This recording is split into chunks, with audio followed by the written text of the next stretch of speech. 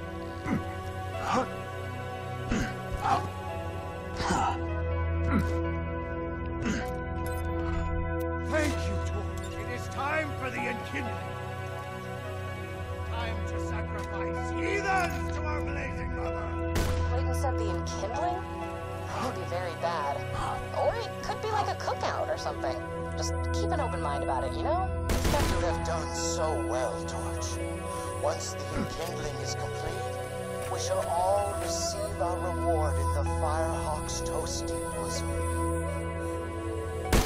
Preparations are complete. Return to me and let the human sacrifice commence! Okay, that sounds pretty evil. Just head to this enkindling thing. If things get creepy, I'll make an appearance. Be careful. Hilarious. You just set off my trap card. Your death approaches.